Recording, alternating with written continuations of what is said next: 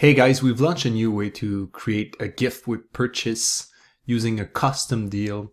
So you go to custom deal, you click on create a new and you select gift with purchase.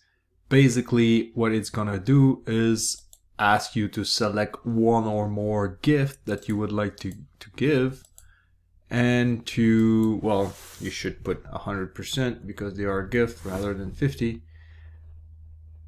and you select how many items should can be claimed by the customers. In my case, I would like only one to be claimed. You also select the layout. Is it a slider or displayed in a list? You can change the title, add a uh, description as well.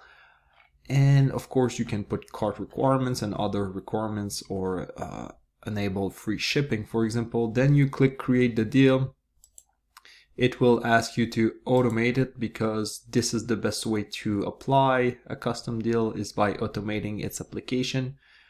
You can define when it should trigger, like when the cart is above $100.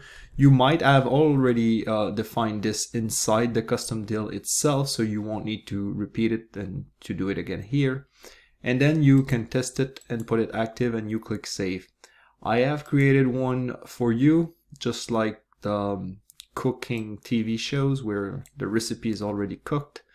So I have one right here which will give two gift and it requires to have at least one of these in the cart. So if you had the cart, you should have two gift, gift with purchase, and I you could disable or enable this pop-up and this loading icon. I've also added the gift widget inside the cart so you can see here that you can add one or more gift. And when you go to checkout well you should get both gift